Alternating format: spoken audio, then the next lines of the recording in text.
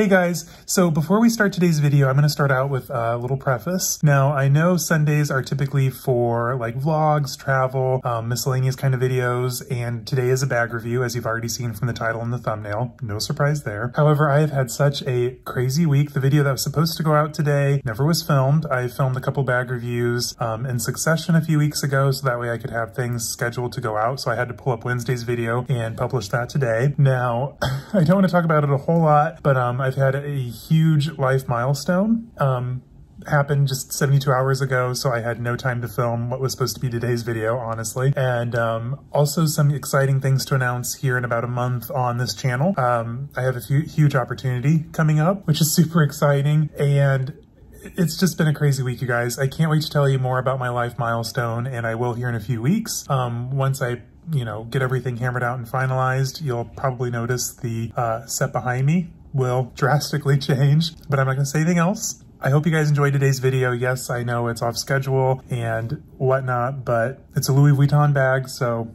enjoy. I'll see you guys later. Hello everyone and welcome. Today we're going to be discussing vintage Louis Vuitton. Interested to learn more about this little bag? Stay tuned.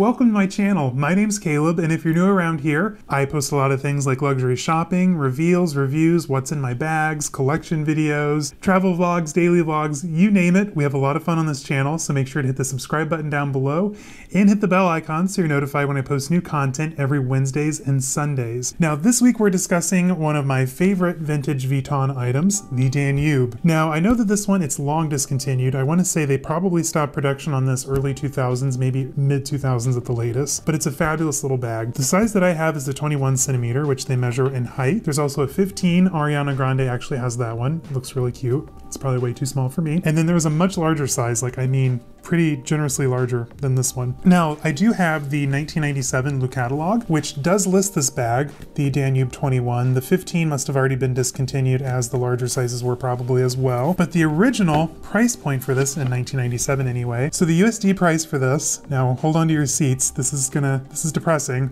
$380 USD. That stings a little bit. And the Canadian price was only 510. I mean, I would even take the Canadian price at this point. Gosh, LV prices have skyrocketed since then. As says the price for this bag. I bought this on the lower end, probably about four, maybe 500. And right now I know Fashionphile has quite a few around 800. Now, this is a discontinued bag, so let me show you some things to look out for when purchasing your own. These are things I wish someone had told me. Now, the chaps on this bag, that's what this little vachetta piece is called, are so annoying. Irritating is putting it kindly and very mildly. So this side is actually still in pretty good shape. It's it's still pretty firm. Um, the color is amazing. The, the patina on this entire bag I think is amazing. But this side, can you see that on camera? This side, it's so soft, it's malleable, it never keeps the strap straight, it's a mess. So I highly recommend when you look at the photos, make sure it looks like this. It's still nice and neat, as opposed to this where it's stretched out and sad. Now I have considered getting the vachetta replaced just to get a new chap, but then I'd lose out on this beautiful honey patina, and that kind of defeats the purpose of having a vintage bag. So I might just wait until it tears through, which I hope it doesn't, but if it does, that's when I'll replace all the vachetta. Until then, I'm fine with it. Now, this bag has an outer compartment. As any Louis Vuitton vintage fan knows, Sadly, the Vuittonite lining, which is what that horrible man-made lining is called, will eventually erode and just disintegrate inside your bag, leaving behind a sticky, dusty mess. Now that's something to look for, especially when buying overseas. I know in more humid climates, that lining just disintegrates almost immediately, especially in some places here in the States. That lining is not meant to last. Now, lucky for me, I think at some point someone had already replaced the lining, so I actually have that kind of LV, how do you describe it? That, well, let me just open the bag. So all of my pockets are actually now done in that kind of almost taiga stamped leather. So I have that one and then there's also a slip pocket on the inside of the bag. Both have already been replaced, so I got very lucky in that regard. Now another thing to look for is the shoulder strap pad. Now once these go bad, they start to crack and just disintegrate and completely fall apart. Luckily for me, mine is still fairly malleable and in great shape. There's not a single crack anywhere. And also, if you're buying this on the pre-owned market, which of course you will be because it's discontinued. Okay, I can't get mine to undo, but there is a Louis Vuitton made in Paris or France stamp underneath that.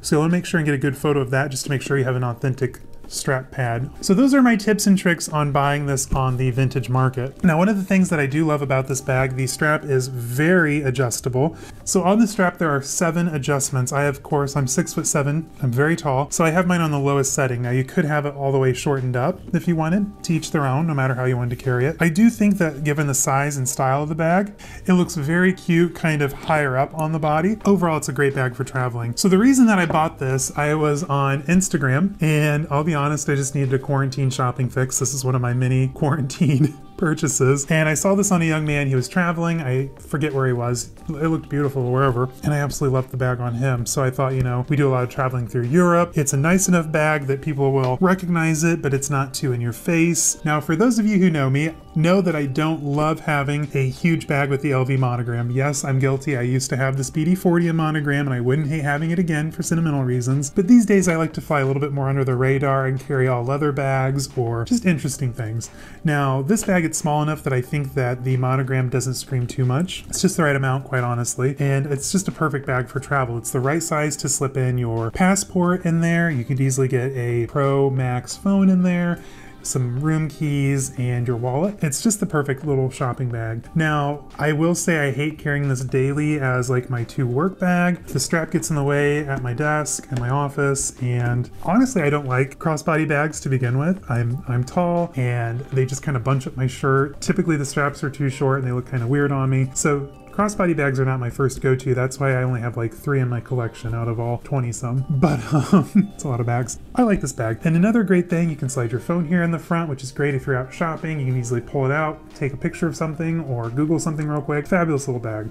The dimensions for this bag, it's 8.5 inches tall or 21 centimeters, hence Danube 21, 6 inches wide and about 2 inches deep, a little bit under 2 inches deep. And the strap drop length is about 18 and a half on average. Now the smaller version of this bag, let's see, the Danube 15 is, drumroll, Okay, so this one's really small and you're not gonna get a phone into it, but it's only five and five and three quarters inches tall, four and a half inches wide, and one and a half inches deep. So size-wise, it is literally these four LVs. It's a little small, but if that's your thing, wear it. Who's gonna judge? Now I know this bag also came in epi leather. I think I've seen a few special orders in Taiga. There was of course the Supreme collab here a few years ago. And now there was another limited edition version, I think it was Runway. Timothée Chalamet wore it. It was like Taiga leather, and then it had the um, the key holder hardware across the front. It was pretty cool. Um, probably pretty noisy and, and clicky if you think about it, with all those um, dangling hardware pieces, but a neat bag nonetheless. So next up, let's take a moment and see what all fits here in the Danube. So here we have the Danube up close. As you can see, it has just a light vachetta trim. Mine has a really nice honey patina minus these two water spots from a previous owner. Anyway, the back of the bag is just plain monogram. And of course you have that slip pocket here on the front. And then the interior lining, it's just in that Louis Vuitton kind of textured leather, and there's another slip pocket inside.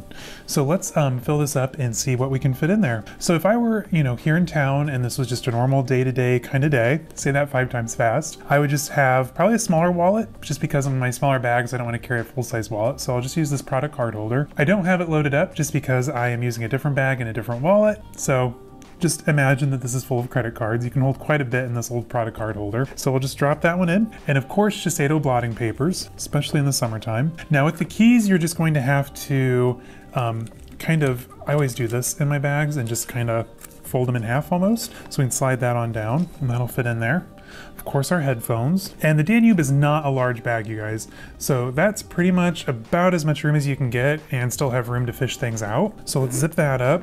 And then typically with this bag, I'll just take my cell phone and then slide it right here in that front pocket, which is great if you're traveling. Now, this is what I would carry if I was, you know, just bumming around the city for the day. Now, if I'm in Europe, obviously we're traveling abroad i'll have to have my passport now i have this this old coach case i've been using it for years but um this will fit really nicely in there. So let's take out our car keys because obviously we're not driving if we're abroad. Um, I'll definitely need my headphones, but typically since this old card uh, passport case has a few card slots, I typically use this for my cards and then I just slide some euros or cash behind the, the fold there and my, my larger bills behind my passport, which is nicely hidden. Um, when you're traveling abroad, obviously, you know, put some money in one wallet and then some in another pocket and vice versa. But anyway, this slides right in perfectly. So we've got our Shiseido blotting papers. I can still get in a card holder if I need to. And of course our headphones, these are nice on the subway or if you're just kind of bumming around and listening to music. And of course, cell phone right back there in front. The Danube, it's small, it's not ideal for everyday use, but for those days where you don't need to carry a whole lot or you're traveling, it's a fantastic bag and I'm, I'm really happy that I added it to my collection. Alright guys, so that was my review on the Louis Vuitton Danube 21. What'd you guys think? Is this a bag that you've had in the past or one that you're looking at getting here in the future? Let me know down in the comments, and until next time, have a great week. Bye-bye.